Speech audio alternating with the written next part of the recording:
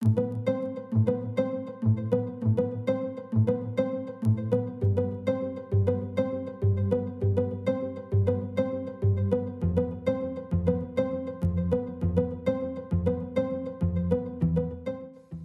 んにちは、ホルヒナレです。3階級世界チャンピオン。コロナウイルスは世界を破壊している。皆さん家で安静にください。お願いします。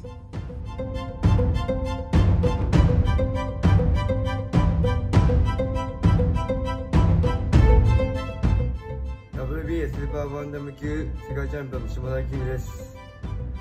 今コロナウイルスで大変な状況になってますけどもこんな時ですから皆さんで力を合わせて助け合ってコロナウイルスに打ち勝ちましょう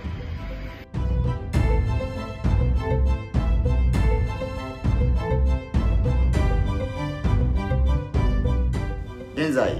世界中で新型コロナウイルスによる大混乱が巻き起こり日本国内でも緊急事態宣言が出されるなど大変困難な時となっております。この困難を乗り切るために皆さんにこの言葉を送ります。自供をやまずと読みます。これは私の母校である秋田県立西目高等学校の校訓であり意味は自分自身を励まし継続して努力することの意味です。こんな時だからこそ自分自身を励まし継続して努力することでこの困難を乗り切り再び皆さんと試合会場でお会いできる日を楽しみにしてます。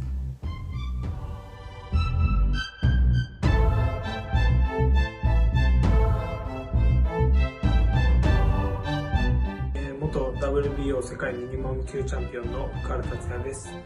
今新型コロナウイルスで大変な時期ですけど、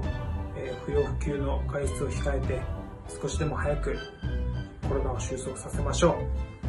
う。コロナになんか負けんまい。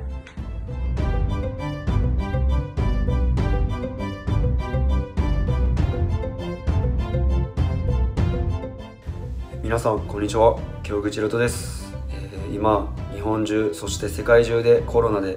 大変な時期ではありますが、えー手洗いうがいそして不要不急な外出を控えこの大変な時期を皆さんで乗り越えていきましょう。そしてコロナが収束したら、えー皆さんに元気を与えていけるような、えー試合をしていきたいと思っておりますのでそれまで皆さん辛抱強く頑張って乗り越えましょう。そしてまた試合会場で会う日を楽しみにしております。